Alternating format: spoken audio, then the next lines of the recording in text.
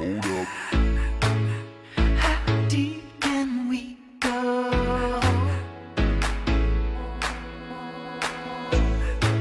Cause you're pulling me straight down.